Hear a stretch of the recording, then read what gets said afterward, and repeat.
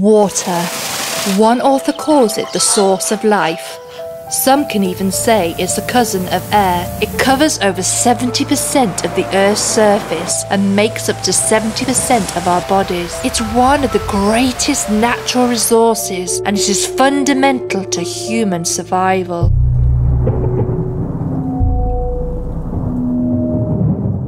How much do we actually understand about the importance of clean water? Less than 3% of water on Earth is safe for human consumption. Across the globe, 650 million people do not have access to safe drinking water and that poses a great threat to human existence. Many children die each year due to poor sanitary practices and unsafe drinking water. This tasteless, colourless, odourless liquid, which is an essential contributor to almost everything we do, can also act as a courier for some of the world's deadliest diseases. Here in Barbados, we too have experienced the negative effects of reduced access to clean water as our economy develops and our population increases, so will our demand for clean water.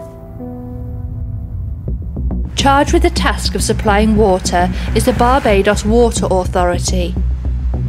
This government owned entity is battling with an ageing pipeline infrastructure and reduced funding.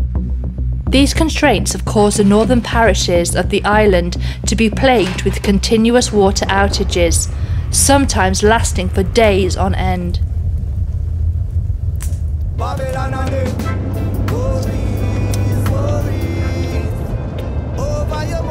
In this episode, we travel to Rockhall St Andrew, where we speak to some of the people living in one of the affected areas and hear some of their concerns. And this situation we got up here with the water, it's a very serious situation. It's definitely serious. Because this is months now. Actually from about a year before this water was plentiful, really serious. Yeah, two years ago from around October. Uh, you get the water goes off about three months and come back on for a couple of days. And then it goes and most thing you get come to the top is air. You know. I actually have um, a 800 gallon water tank. Um, presently, which is a fairly big tank. However, um, many times my, my tank runs out of water, although I have such a, a, a large tank. So the, the, the problem the problem is, is is is very bad as it relates to water. A lot of customers complain that they can't take a shower to go to work, right? They can't cook a lot of people don't like the bottled water. You understand? And you know, don't figure like when a fella go any backyard, anywhere, or he tend to animals, or like that when he come and he can't wash his hands. Right? Them is the complaints I just hear the people talking about. The fellas is going to pay in the bush. Cause we don't, they ain't got any water to flush the toilet. So if you keep it like little karaoke or something, you gotta abandon it. You understand? And it don't look good. Cause ladies come my shop now, they can't use the bathroom. And ladies ain't want to go in bush because the bathroom can't flush. Right? And you know when you're flushing after that you can start you can start smelling it. Man, I think I think it's terrible. Ain't that good? Cause you just get a lot of brown, rusty water. You understand? And like when you call these guys, when you call them, then they start three and four days to come. Right? And when they come, they do the same thing over and over and over. And it don't make no sense asking them questions because nobody can answer the questions. all they can tell you for refer to this body and talk to this body. If you talk to this body, all they can tell you we can get the problem solved out. And it don't ever get solved out. So you're back at square one. But you know every day they got more and more water problems coming up, coming up. You know? And a lot of the children they start going from school too, you know. But when they get up, they can't take a shower. Yeah, everybody don't want to be in a bucket of water. right? this, this is what we were doing 50 years ago. Be in a bucket of water, bring water and bring from the pipe. 50 years ago, we doing it now, so we, we ain't getting away. We ain't getting away at all. And look, when the water, when the water truck come round, It is all it is can run so they don't even stop. Because they just drive them, they don't even stop. And then they say they gotta go and come back and they don't come back. Right? So yeah, I know it. And when they come in water too, they say the water for drinking, for washing it, for this and that, for that. So you're still in trouble. But we had a pipe burst not far from me for four months. And all that pipe was doing was throwing away millions of gallons of water, you know. And no one seems to be able to find the problem. A pipe burst up here, we gravity fed. And that little pipe baffled the Barbados Water Authority for four months. And out of that, my water came back on the Tuesday night. The Tuesday, the Thursday came home, my water was turned off. The Thursday came, my water was turned off. Then they called Mr. Yearwood at the Water Authority. The night and not see what gone wrong with it. Show me the assurance that the people in Rock Hall are being affected with water. They tell us put the num the account numbers on the petition. And it seems you put you you, you, you, you victimized me because my water the water just came on, you come and turn off my water. Huh? Well, he tell me well, I had to owe the water some kind of money. I said me for four months didn't get water. Huh? Huh? But he assured me, well, he tell me by 10 o'clock my water will be back on the following day and it did come back on. I got a plan how I how I wash, how I bathe. You know what I mean? So even something like cooking, I, I got to make sure that um, I, I actually have the tank. Although I have a filter attached to the tank, um, when the water is on, I got to make sure that I have the, the water that flows to the tank off. Make sure the water that is, is really bad run off first because I don't want any of of that um, real contaminated water because it really does a toll on the filter. And it has to change um, filter very very often. I actually have um, some herbs and, and stuff um, and, and, some veg and um, unless I get rain it's problems. So the lack of water is affecting me in, in every sense the BWA currently supplies approximately 35 million gallons of water per day to just over 100,000 customers. However, many affected residents no longer have faith in this institution to provide long term solutions to their water problems and feel a sense of being ignored and left by the wayside. We've been suffering for years the same outages we've been having. You got to sit here and wait for the truck to come and give you water. Yeah? Some trucks turn up that on Mali, the truck drivers curse you, all such like, you know. And I, you know that is that is the kind I can remember here last year. I was doing something in the back when the truck came. I said, well, I gotta pass back here.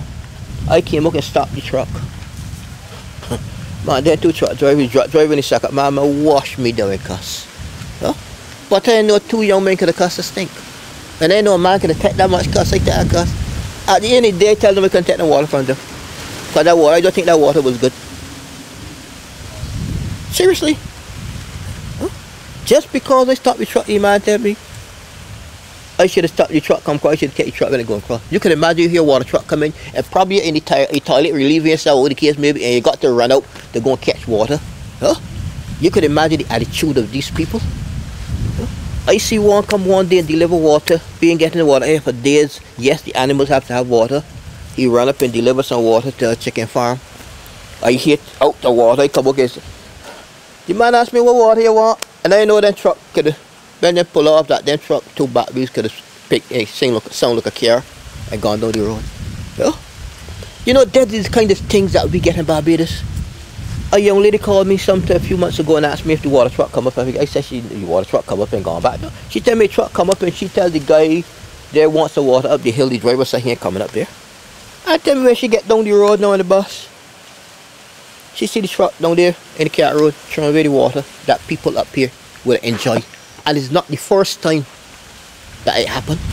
A couple years ago we I had that problem with the truck. Man refused to come up this day driver and give me water.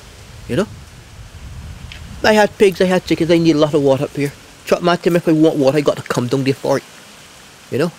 And I draw your attention to the Barbados Water Authority. You know? I went down the hill one day, city man down there evening, throwing the water in the river. Yeah, throwing the water in the, in the river. So I guess he considered we, yeah, and only certain superior people is supposed to get the water. So if you look and see the attitude of the people at the Barbados Water Authority, you hire a lot of people that don't know what's going on. The same way you got the aggressive people coming turn off the water. Yeah? Swear and curse people because they may pay the old pay, turn off the water. You could get people more aggressive, then they can fix the then they can fix the pipes and so on. Don't only look at the money that's coming in, or the case may be. I would like government to instruct the Barbados Water Authority that the people in Rock Hall is people too. That you collect a monthly bill from them every month. You should at least give them water. After speaking to some of the Rock Hall residents, we did some research of our own to try and understand why water outages lasted for so long. We found a massive water tank about 800 metres away from the community, hidden away in the bushes. We were told it was built by the BWA, but don't understand why it was not connected to the water supply system in Rock Hall. We also took a look at the pumping station for the Rock Hall community, located in Black Bess. It was plagued with problems. Some of the issues include faulty and outdated equipment. We contacted the Barbados Water Authority to try and get some answers, but was told nobody was available for comment. However, on the BWA's website, there are three main problems outlined. Firstly, there has been a noted reduction in production from the wells feeding Golden Ridge and Castle Grant Reservoir due to falling water tables, which has been evident by pumping air. There have also been more frequent disruptions in supply due to an increase in the number of burst mains per day, and lastly, increased irrigation water demands from the public water supply network due to drought conditions the island is experiencing. We travel next to CERMES, the Centre for Resource Management and Environmental Studies, at the University of the West Indies, Cave Hill campus. This department's focus is on tropical island environmental management, and its mission is to make a significant contribution to sustainable development in the Caribbean region. We speak with director and lecturer Dr. Adrian Cashman. Okay, so people are complaining that they're not getting enough water um, into their homes. So we got to ask the question why why is that? There are two things going on. First of all, we've had a drought. During 2015, 2016, rainfall below average, so we're not getting recharge. So that's one thing. Drought is one thing. But it's not just about drought. It's also about the water supply system as well. So let's just take the water supply system to start with the system that takes water from the ground, transports it across the island, and brings it to you, the consumer. Right. If you talk to BWA, you know, they will tell you that parts of the system are 150 years old. Pipes being put in uh, out uh, to bring water into, into Bridgetown. So over the years, you've in, we've invested in building the infrastructure. But like anything, if you've got a car, for example, you don't just buy the car and run it. You take it in for maintenance every six months, every 12 months. And it's the same with the water supply system. You don't just build it, you've got to look after it. You've got to operate it and maintain it. So, and some of it sometimes needs replacing. You replace an oil filter in your car, you need to replace parts of your water supply system. That has been, in my opinion, one of the failures over not just the last year, because these things don't just manifest themselves in a year. This is something that goes back decades. Underinvestment in operation and maintenance and maintaining a water supply system. On December the 10th, 2015, the Board of Directors of the Caribbean Development Bank approved a loan of US $39.5 million to the government of Barbados to help with upgrading the country's water supply network. This financing was intended to provide urgent help needed to tackle the issues of ageing infrastructure, increasing water outages and operational inefficiencies which challenge the water sector in the country. So we just haven't invested enough in making sure that the pipes are in a good condition, that they are being replaced at a rate that they should be replaced to maintain a good water supply system. So you've had that is one problem.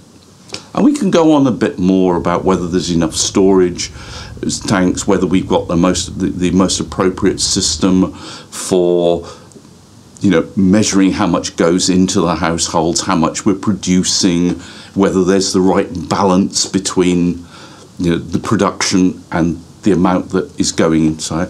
We could talk about leakage, about pipe bursts as well, which are symptoms of a system that is not being maintained properly if you're getting increased levels of burst, some the, the burst level, the, the leakage level of BW of BWA of our water supply system is not what it should be. It's not anywhere near international benchmark norms. So you have one problem there. The next problem you have is the one to do with the water resources.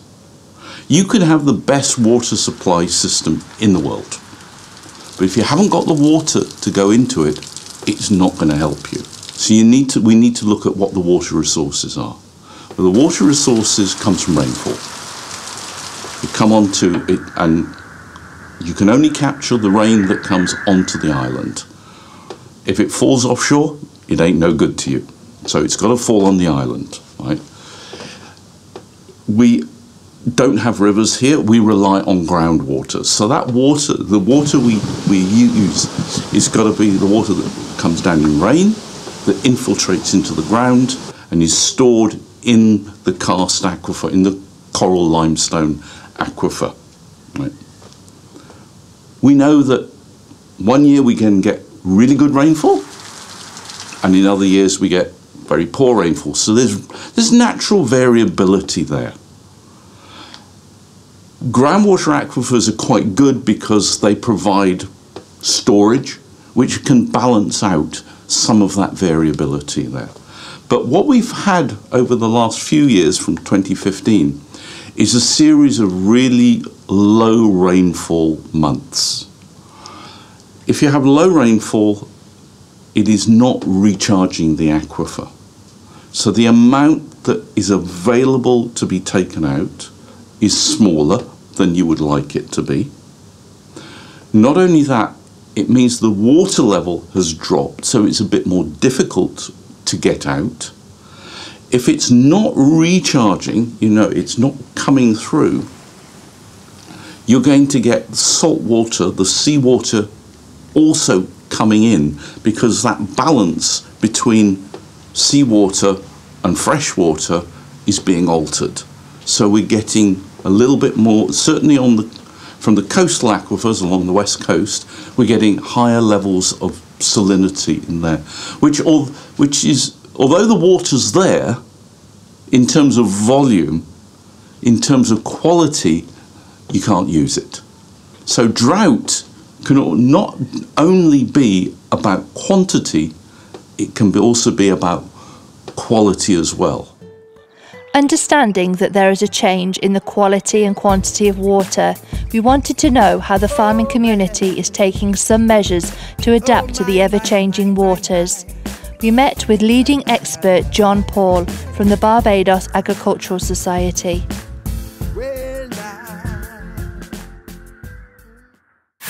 The BAS is a farmers' organization. It was actually established, and don't make that fool by statute in the days when you did not incorporate companies. Basically, you passed an act in Parliament and was incorporated. That's in 1845. Uh, what we do, we focus on the issues that impact on farmers from a point of view of the policy perspective.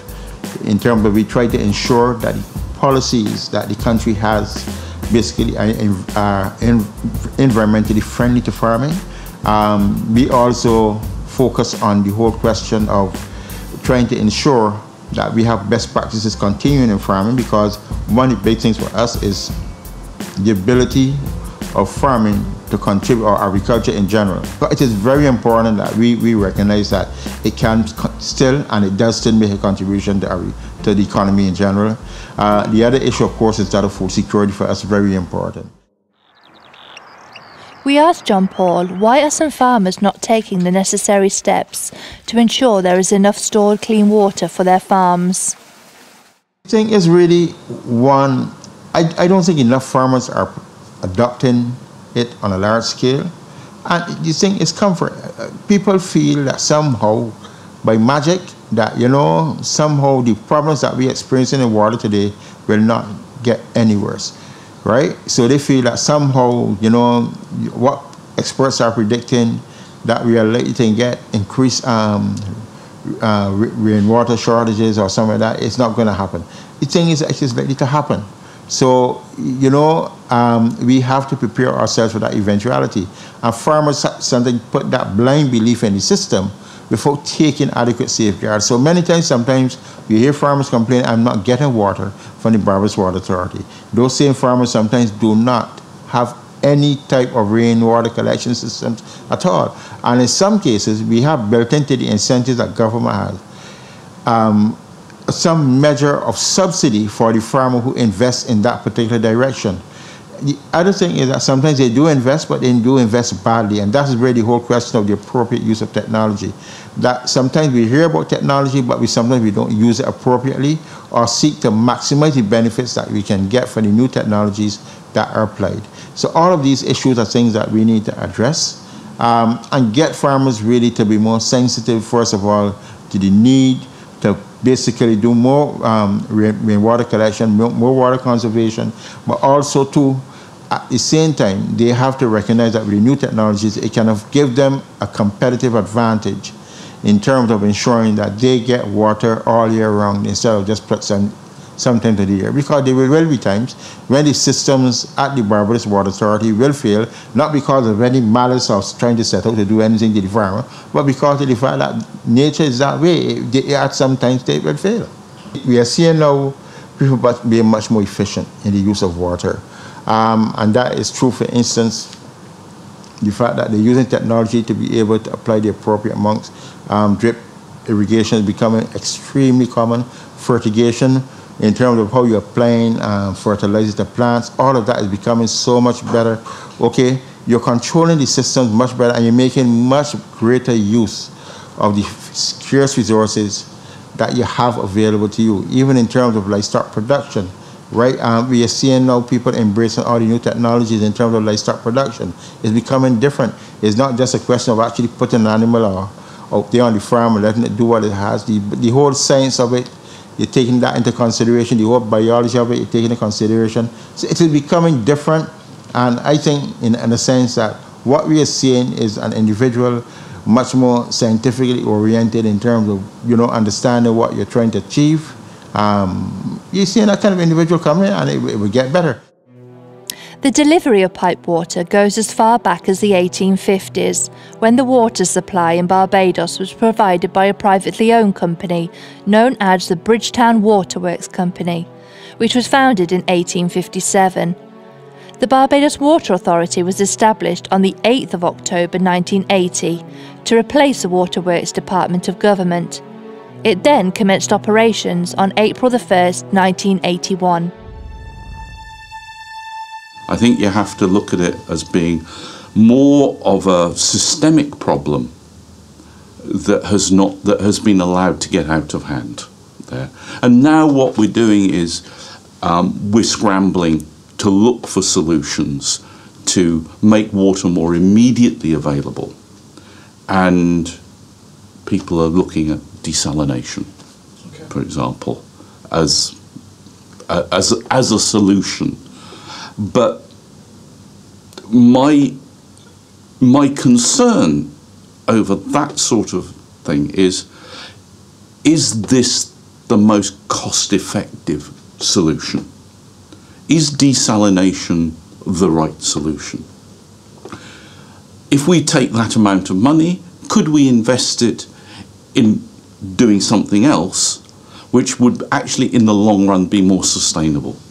And that sort of debate that sort of evaluation, I'm not seeing. I'm not seeing it being talked about. So should we be investing much, much more in leakage reduction, in pipe replacement, which takes time.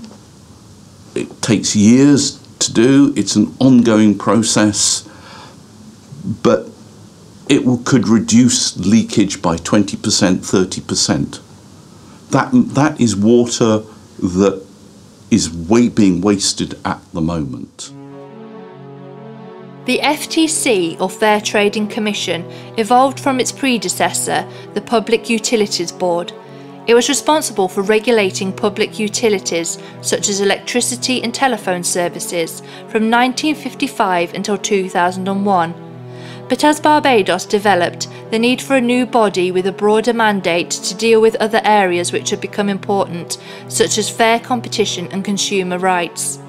The Fair Trading Commission eventually came into being on January 2, 2001 through the Fair Trading Commissions Act. On May 13, 2017, the FTC hosted a series of town hall meetings in an effort to engage the public on water related issues and hear their views and concerns.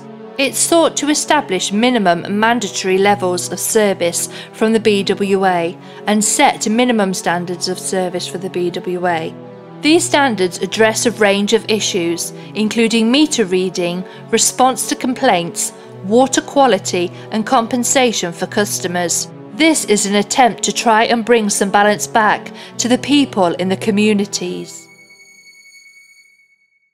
Having heard from the residents in Rock Hall and the challenges they are facing, with no proper communication from the BWA as to why the water outages last for so long, and what is the reason for not connecting the massive water tank in the area.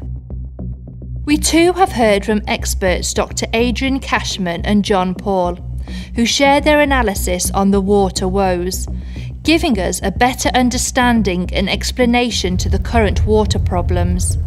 We heard that storing water from heavy rainfall is only part of a solution, as the drought season is lasting for longer periods. The unknown amount and frequency of water wastage due to burst mains and leakage of household taps, toilets, and showers, which are not being managed and maintained efficiently to international benchmark standards. However, evidence has shown that our population is increasing, and more than 1 million tourists who come to our shores every year create a demand for more businesses to open.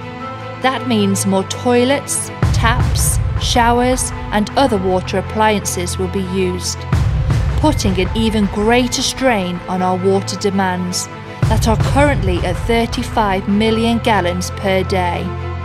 The new unpredictable demands for water will have an even greater strain on the BWA's underfunded inefficient water infrastructure.